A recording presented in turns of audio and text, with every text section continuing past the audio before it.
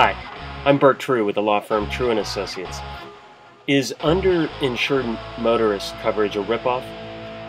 Another Iowa insurance company refuses to pay underinsured motorist claims. It's beginning to seem like underinsured motorist coverage is kind of a ripoff. Underinsured motorist coverage is auto insurance that you buy from your own auto insurance company that in effect increases everybody's insurance policy limit up to your own limit so that if you're injured by a driver that has more insurance than you, it doesn't help you in any way. So you wasted your money by buying that un- underinsured motorist in a coverage in a case like that. It won't pay at all. Also, if you actually have to make a claim against your own auto insurance company, they will turn on you like a rabid dog. They'll claim that your treatment from the wreck was not necessary. They'll claim that the expenses were uh, unreasonable, and they'll claim that you had pre existing conditions. Your own auto insurance company will do anything they can to avoid paying your claim. They'll even sue you. And in Iowa, they'll take the case to the Supreme Court, all the way to the Iowa Supreme Court. Let me tell you about Karen Robinson. She was injured back in 2004.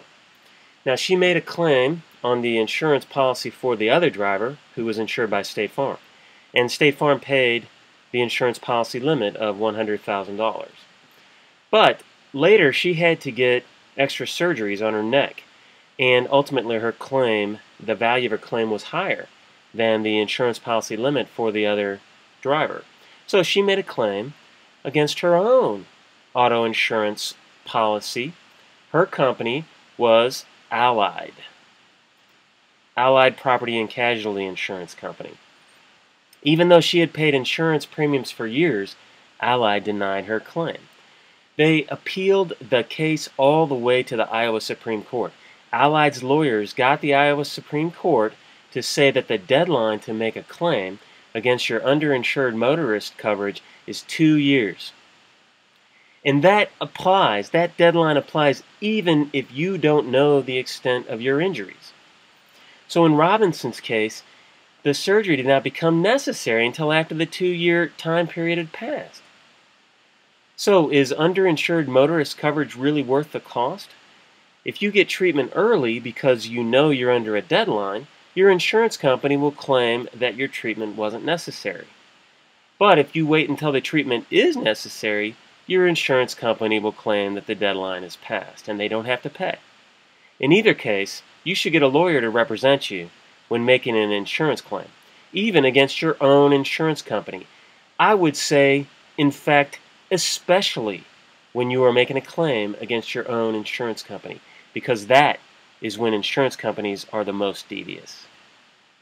I'm Burt True with the law firm True Associates. If you have a suggestion for a topic, please post it in the comments below. And if you're watching on my blog, you can subscribe to my blog by email. Just uh, click the link below that says subscribe by email and you can follow the blog using Google+. This will keep you updated with new posts to the blog. If you'd like to discuss something in private, just click the Google Voice gadget below. You enter your telephone number and Google will connect us by telephone. If you're watching on YouTube, you can subscribe to my YouTube channel to get notifications of new videos. And you can click the links on this video to watch my law firm's television commercial or other interesting videos about wrongful death, personal injury, and insurance coverage topics, and medical malpractice topics as well. And you can follow me on Twitter at Burt True and on Google Plus at Burt True. You'll get notice when I post a new video. I'm Burt True with True and Associates.